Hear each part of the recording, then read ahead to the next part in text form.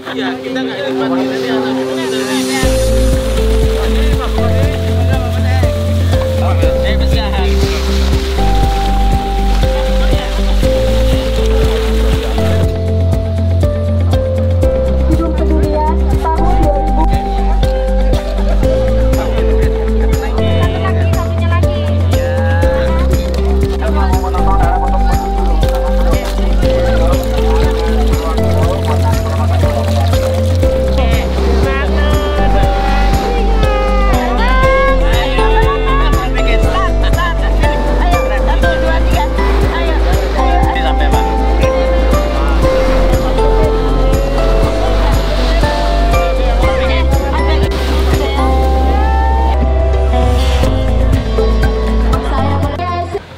Mencintai generasi yang akan datang, salah satunya adalah mencintai lingkungan kita, jaga lingkungan kita tetap asri, jaga lingkungan kita tetap terjaga dengan baik.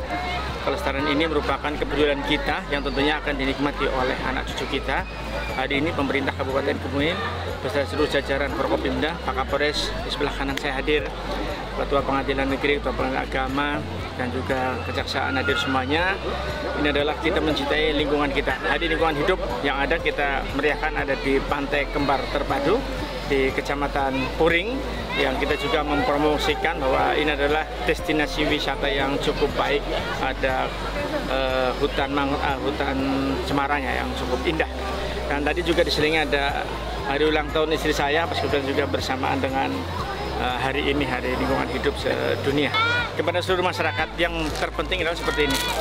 Ketika kita memiliki sampah di pantai belum ada tempat sampah di sekitar kita, misalkan di dekat-dekat air, tentunya kan tidak ada tempat sampah. Yang ada di jauh begini harus kita masukkan di kantong. Masukkan seperti ini, nanti setelah sampai di tempat sampah kita buang. Kepedulian dari yang terkecil inilah menunjukkan bahwa kita mencintai sesama kita.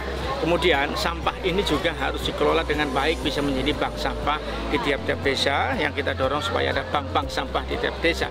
Karena sampah ini kalau dikumpulkan sedikit demi sedikit, insya Allah dalam satu tahun bisa untuk membayar PBB misalkan, ataupun keperluan lain, ataupun untuk berinfak. Jadi sampah jangan dijadikan itu hal yang tidak berguna, tetapi sampah dijadikan volume itu yang paling penting.